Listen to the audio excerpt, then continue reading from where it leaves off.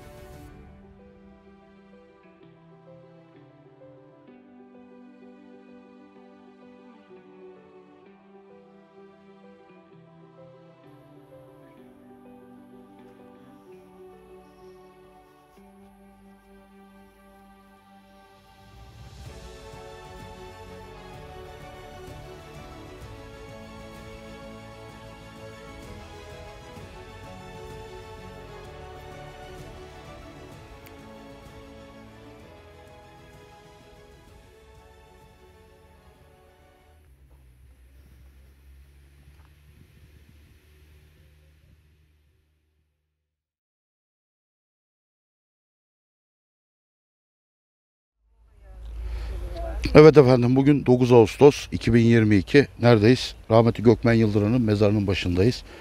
Bugün onu kaybedeli 16 sene oldu. 16 sene önce Karahaber Elazığ'dan e, gelmişti.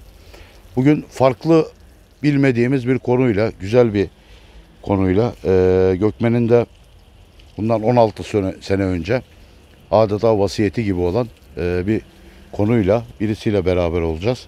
Ben önce onu davet etmek istiyorum. Yanımızda rahmetli Gökmen'le aynı ismi taşıyan genç bir kardeşimiz var. O da Gökmen abisi gibi e, futbol yolunda e, ilerliyor.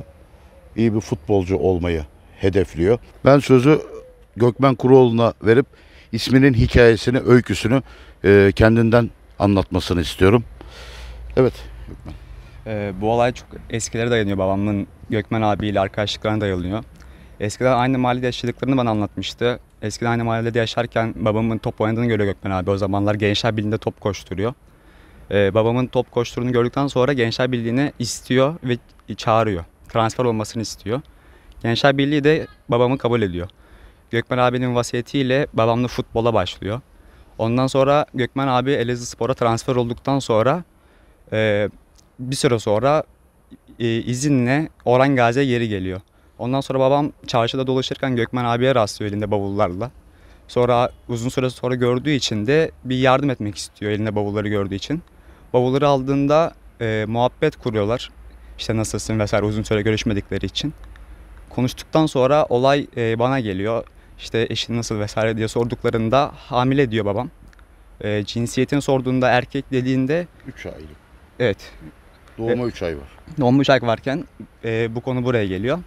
Ondan sonra Gökmen abi babamın omzuna kolunu atarak Osman diyor benim ismimi Gökmen e, oğluna verir misin diyor Gökmen ismini. Babam da olur diyor. Ondan sonra ismim Gökmen oluyor. E, ben doğduktan 3 ay sonra da Gökmen abi vefat ediyor. Öyle. Diyecektim bu kadar. Ee, Gökmen abini ne kadar e, tanıyorsun? Ne kadar biliyorsun? Onunla ilgili neler söyleyip anlatırsın bize? Ee, babamın anlattığı kadarıyla çok efendi bir adam, saygılı. Büyüklerine, küçüklerine karşı asla saygısızlık yapmamış. İyi bir futbolcu. Ben de onun gibi fut- Futbolcu olmak istiyorum. Ee, Gökmen abiyi görme fırsatım olmadı ama görmeyi çok isterdim. Ee, babamın ve etrafımdakilerin anlattığı üzere çok efendi büyüğüne, küçüğüne saygılı, iyi futboluyla öne çıkan bir insan. Ben de onun gibi gelecekte iyi bir futbolcu olmak istiyorum, profesyonel futbolcu olmak istiyorum inşallah Allah nasip ederse. Ee, diyeceklerim bu kadar şu an.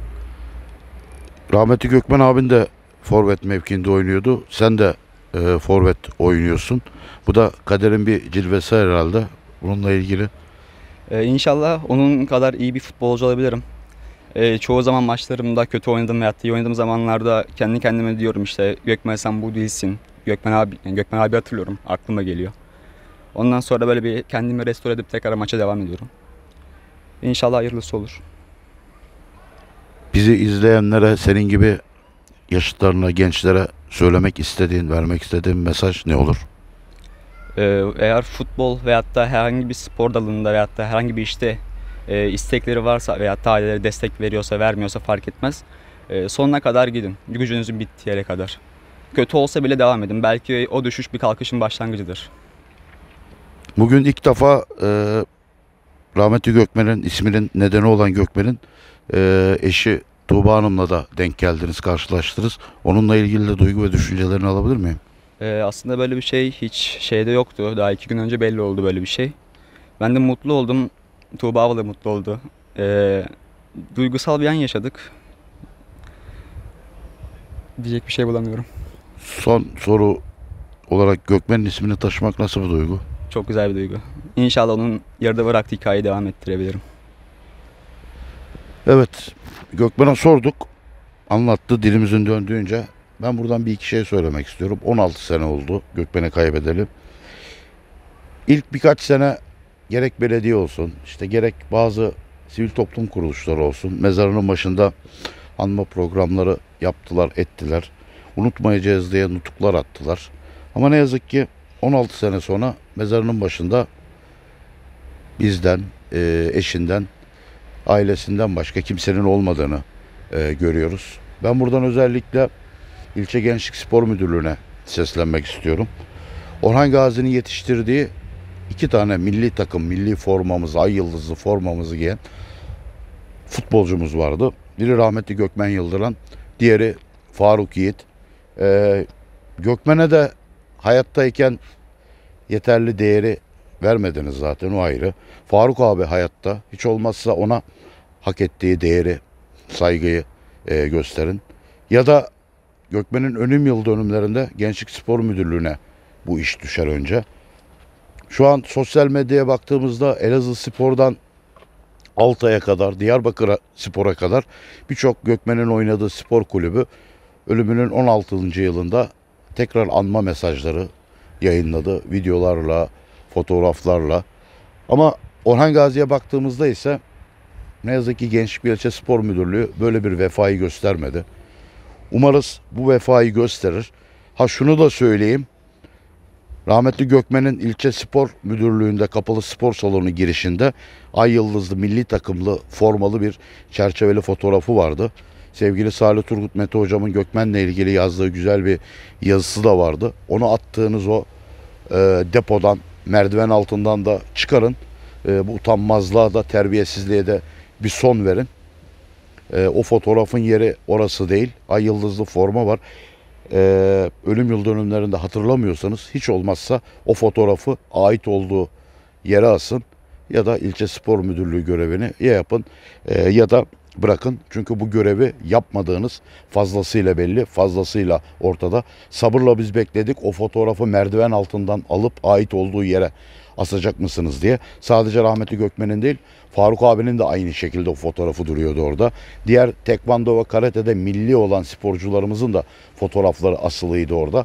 Salih Turgut Mete ne zaman oradan ayrıldı o fotoğrafları da kaldırıp depoya adeta atık bir malzeme gibi attınız. Bu terbiyesizliğe umarız son verirsiniz. Bir kez daha Gökmen'i vefatının 16. yılında rahmet, sevgi, özlemle anıyoruz. Keşke belediye, kaymakamlık, gençlik spor müdürlüğü ya da oynadığı spor kulübü Gençler Birliği, onlarca sporcusu var.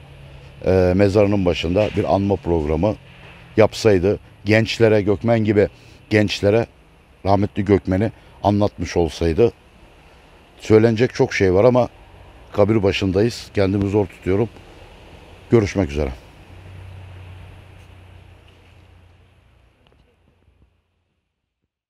Bizler sürekli mezarlıkta görüyorsunuz beni ama bunlara önem vermek, değer vermek e, gerekiyor. Bizler için can verdiler.